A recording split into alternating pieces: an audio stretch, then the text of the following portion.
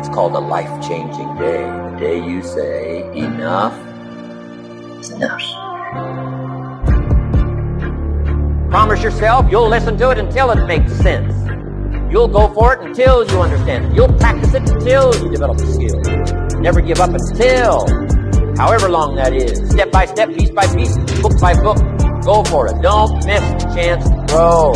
And resolve that you'll pay the price until you learn, change.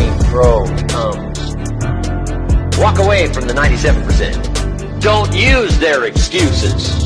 Don't go where they go. Don't do what they do. Don't talk like they talk. Develop you a whole new language. Take charge of your own life. Take charge of your own day. Change it all. Be part of the few.